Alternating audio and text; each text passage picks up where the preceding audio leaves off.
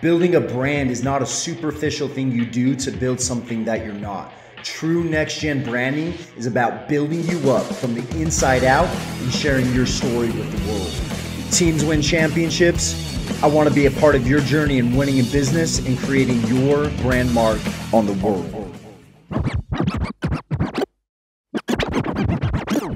ASAP,